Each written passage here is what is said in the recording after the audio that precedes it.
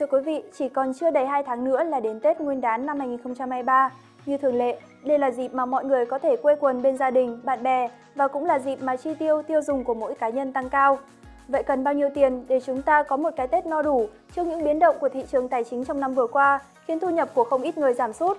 Và làm thế nào khi tiền hết mà Tết đã đến? Hãy cùng theo dõi những thông tin bổ ích trong chương trình What If tập 6 của chúng tôi ngày hôm nay.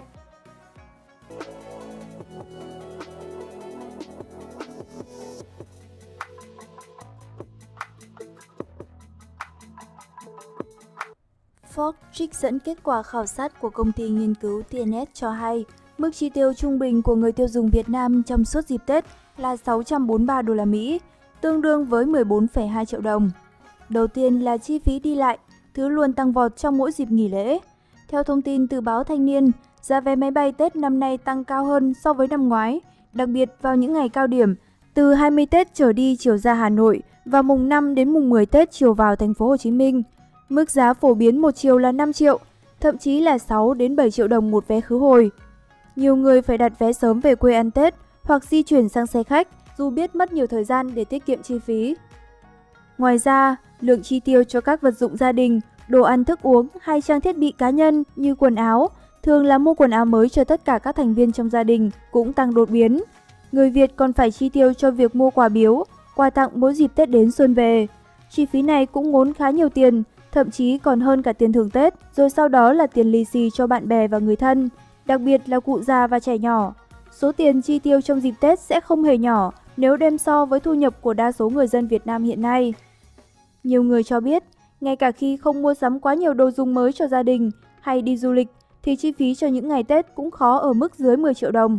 Theo chia sẻ của chị Nguyễn Thị Loan, 42 tuổi ở Ba Đình, Hà Nội, mỗi năm chị chi tiêu tàn tiện cho dịp Tết cũng phải trên 20 triệu đồng. Chị Loan tính, chị mua một cành đào khoảng 2 triệu, một chậu lan khoảng 4 triệu, hoa tươi khoảng 500.000 đồng. Chưa kể các loại bánh kẹo, tính sơ sơ cũng khoảng 10 triệu. Quà biếu Tết tôi chi mất khoảng gần 5 triệu đồng, biếu bố mẹ cũng trên 5 triệu đồng nữa. Đó là chưa tính thực phẩm ngày Tết, tiền lì xì, chị Loan nói. Câu chuyện chi tiêu ngày Tết của chị Loan cũng rất giống với nhiều gia đình Việt Nam khác. Theo báo cáo về chỉ số niềm tin người tiêu dùng của hãng nghiên cứu thị trường Nielsen quý 2 năm 2019, Việt Nam là quốc gia có người tiêu dùng chi tiêu tiết kiệm nhất. Theo đó, Việt Nam hiện nằm trong top 2 thị trường có xu hướng tiết kiệm cao nhất với 69%. Dù chi tiêu thuộc nhóm nước tiết kiệm nhất thế giới, song người Việt lại sẵn sàng phóng tay cho dịp Tết Nguyên đán. Báo cáo thị trường Tết của Catawar Panel cho thấy, tháng Tết năm 2019, sức mua sắm của người tiêu dùng Việt Nam đạt 46.000 tỷ đồng. Con số này của mùa Tết năm 2018 là trên 45.000 tỷ đồng. Đáng chú ý, ở cả nông thôn và thành thị, 33% sản phẩm tiêu dùng được mua với mục đích làm quà biếu. Phó giáo sư tiến sĩ Ngô Trí Long, nguyên viện trưởng Viện Nghiên cứu Thị trường giá, Bộ Tài chính cho rằng, người Việt Nam có xu hướng chi tiêu, sắm sửa nhiều trong dịp Tết trước hết là do tập quán từ xa xưa để lại. Người Việt quan niệm, cả năm chỉ có một ngày Tết, nên theo phong tục ai cũng muốn sửa sang nhà cửa, mua sắm vật dụng mới, dù giàu hay nghèo, nhưng ngày 30 Tết phải có thịt treo trong nhà. Dù hoàn cảnh có khó khăn, thậm chí túng đói quanh năm, nhưng ngày Tết là phải cố gắng sung túc, đủ đầy, cầu mong một năm mới no ấm. Vậy nếu nằm trong trường hợp tiền hết mà Tết đã đến, chúng ta cần làm gì để có một cái Tết trọn vẹn mà không phải lo nghĩ quá nhiều? Hãy cùng theo dõi những giải pháp ngay sau đây. 1. Lên kế hoạch chi tiêu Cách đầu tiên để tiết kiệm tiền và giảm chi tiêu chính là lập kế hoạch mua sắm một cách chi tiết. Những ngày Tết, bạn cần phải mua sắm rất nhiều, trong đó quần áo, gia dụng, đồ trang trí, bánh kẹo, thức ăn trong Tết, đồ cúng. Có nhiều thứ được coi là cần thiết, nhưng cũng có nhiều thứ chưa chắc đã phải sắm thêm. Việc liệt kê sản phẩm theo tên, số lượng cũng như số tiền bỏ ra cho các đồ vật này sẽ giúp bạn ra soát lại một cách kỹ càng những món hàng định mua, loại bỏ những chi tiêu không thực sự cần thiết, so sánh giá cả để có sự lựa chọn tốt nhất, thêm các phương án thay thế tiết kiệm hơn và dự trù xem mình sẽ tốn bao nhiêu tiền cho dịp mua sắm này. Ngoài ra, khi lên kế hoạch mua sắm Tết, hãy chú ý những điều sau. Mua sắm từ sớm Do giá cả các món hàng hóa hay dịch vụ hầu như đều tăng cao vào dịp Tết, bạn nên lên kế hoạch mua sắm vào một khoảng thời gian trước Tết để mua hàng hóa với giá cả hợp lý hơn.